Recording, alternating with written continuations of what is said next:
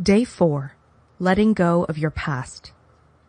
Today you start to let go, release blame, forgive, and move on. How did you do yesterday? Do you feel that you are learning to let go of some of your past hurts and tune your self-talk to a more positive channel? I am so proud of you for loving yourself enough to do these lessons every day and to use your mirror work to reprogram all the old tapes you have been playing in your head. Ever since we were little children, every message we have received, everything we have said, everything we have done, everything we have experienced has been recorded and stored in the filing cabinet in our core, our gut, our solar plexus. I like to imagine that there are little messengers in there and that all our thoughts and experiences are recorded on tapes that the messengers put in the appropriate files. Many of us have been accumulating files with labels like, I'm not good enough, I'll never make it, I don't do anything right. We are buried under piles of old negative tapes.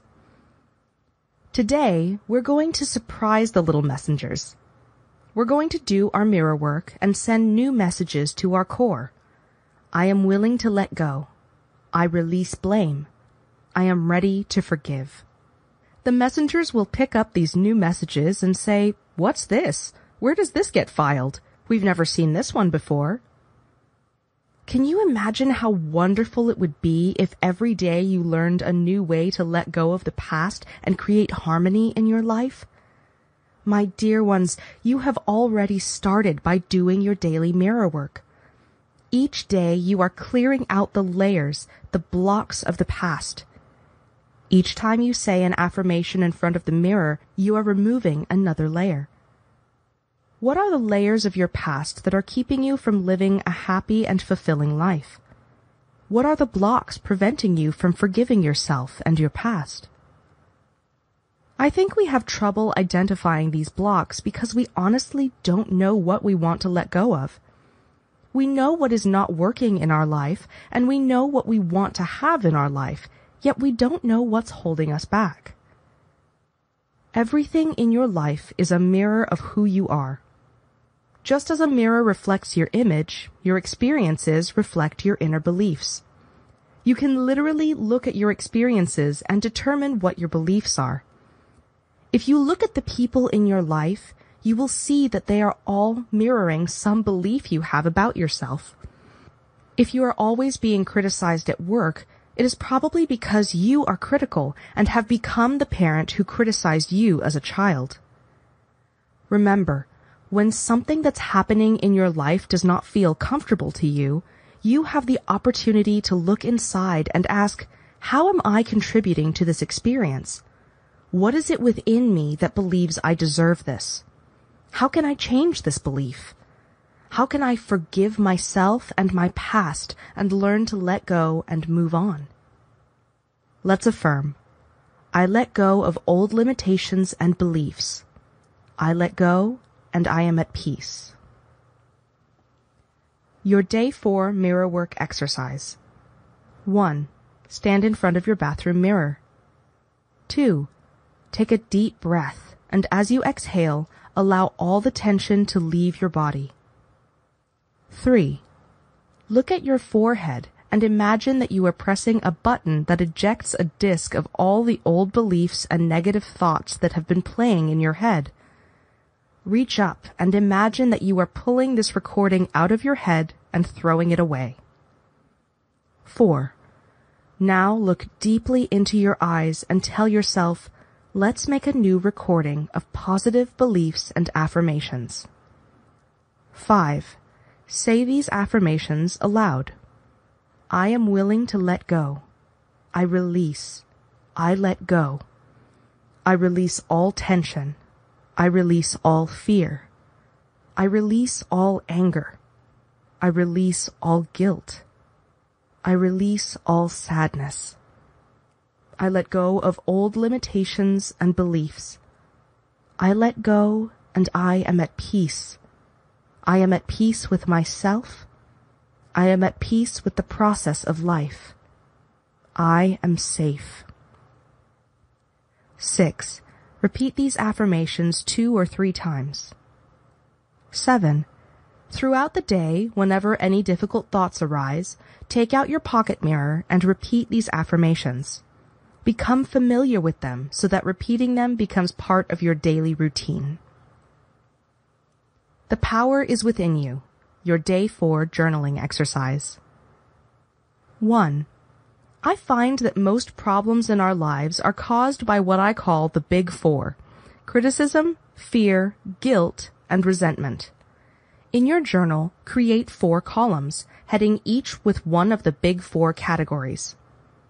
Think about what role they play in your life. Write your thoughts and feelings about each category in the appropriate column. 2. From step 1, Take the two categories you wrote the most about and write down 10 positive affirmations in each category. For example, if one of the categories is resentment, you might write affirmations like, I now choose to release all hurt and resentment. The more resentment I release, the more love I have to give. 3. Everything in our lives is a mirror of who we are. Think of the people in your life who are the most challenging for you. What are the traits that bother you most about them? Write those down.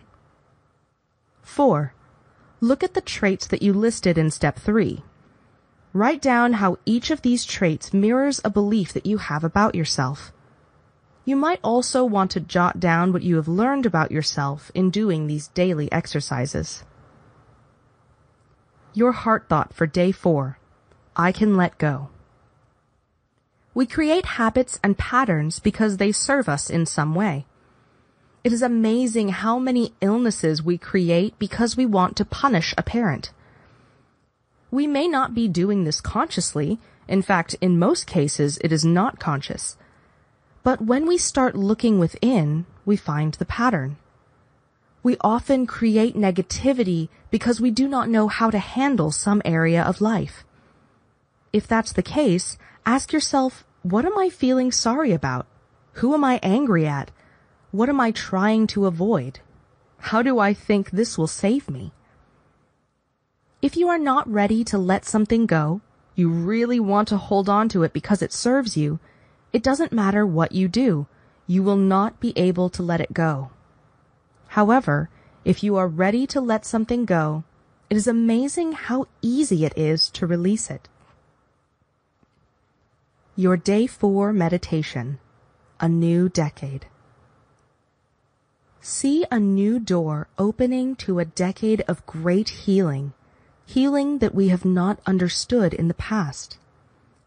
We are in the process of learning all about the incredible abilities that we have within ourselves and we are learning to get in touch with those parts of ourselves that have the answers and are there to lead us and guide us in ways that are for our highest good. See this new door opening wide and imagine stepping through it to find healing in many, many different forms, for healing means different things to different people. Some of us have bodies that need healing. Some of us have hearts that need healing. Some of us have minds that need healing.